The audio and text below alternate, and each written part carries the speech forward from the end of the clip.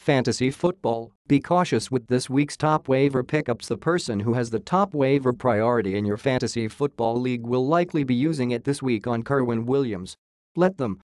Williams is the hot name on the waiver wire after the long-term injury to Cardinals running back David Johnson. Johnson is expected to miss three to four months, opening up tons of carries in Arizona's backfield. But there is literally no comparison between Johnson and Williams. Johnson is an elite running back with vision, patience, speed, amazing hands and a knack for converting at the goal line.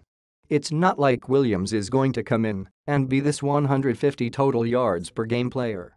He might not even get the bulk of carries.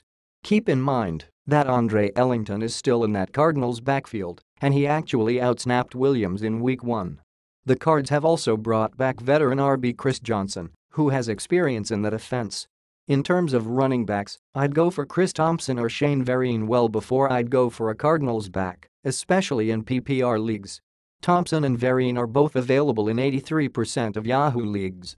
Thompson had four catches for 52 yards and a TD in the opener and has a consistent role in Washington's offense.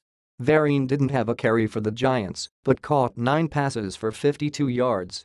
In a Giants offense with a skittish Eli Manning, there could be plenty of similar games in his future. Here's a quick overview of the popular waiver wire players this week and whether you should go all in on one of them. Ravens D. Saint to me, the top pickup of the week, is not a skill player, it's the Ravens defense. Somehow, Baltimore's defense is available in 50% of Yahoo leagues. After pitching a shutout of the Bengals in week 1, the Ravens get the Browns at home in week 2. Home field advantage might not mean a ton in today's NFL, but it has meant a lot for the Ravens' defense in recent years. Last season, Baltimore allowed an average of 14.8 points at home. That includes the 26 points the Eagles hung on them in Week 15. The last time the Ravens hosted the Browns, they won 28-7, forced three turnovers, and had four sacks. That translates to right around 15 fantasy points. But it's not just the Ravens' Week 2 matchup that makes them, in my mind, the most impactful pickup this week. In Week 3, they faced the turnover-prone Jaguars, who just lost their top wide receiver, Allen Robinson, to an ACL tear. It's that, looking ahead, there might not be a single better defense to have in the fantasy playoffs. In Week 15, semi-final week, the Ravens play the Browns again. In Week 16, they get the Colts, who at that point might have shut Andrew Luck down for the season given how much of a train wreck they could be by mid-season. Look, if you have massive holes on your roster, maybe a skill player makes more sense for you this week. But if your choices are picking up Cooper Kupp or Williams just to keep them on the bench, why not pick up a starter? The Ravens' defense is a starter in fantasy land. WR Cooper Kupp, Rams, there's a lot to like about Kupp, especially in PPR leagues. He caught 4 of 5 targets for 76 yards and a TD in his NFL debut after a preseason full of hype. But be cautious with guys like this. If you have a Pierre Garcon, a Golden Tate, a Randall Cobb, even a Cole Beasley, are you really going to confidently start Kupp ahead of them most weeks? If the answer is no, then he's not worth $30 out of your $100 free agent purse.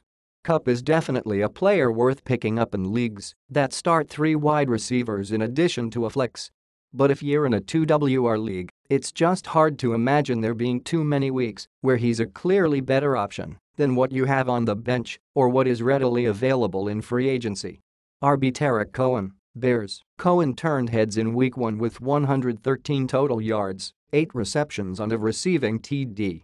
His exciting game will make him an exciting pickup for some owners this week. Just keep in mind that despite his impressive debut, Cohen received just 42% of the Bears' snaps Jordan Howard was on the field for 57%. Howard has not been supplanted. The more important point, though, is that the Bears' next six games are against good to very good teams at Bucs versus Steelers, at Packers versus Vikings, at Ravens versus Panthers. They figured to face larger deficits in those games than they did in the Week 1 nail-biter with Atlanta, and unless Cohen becomes a Mark Ingram-like checkdown machine, his presence might not be as important the next month and a half. W. R. Nelson Agholor, Eagles.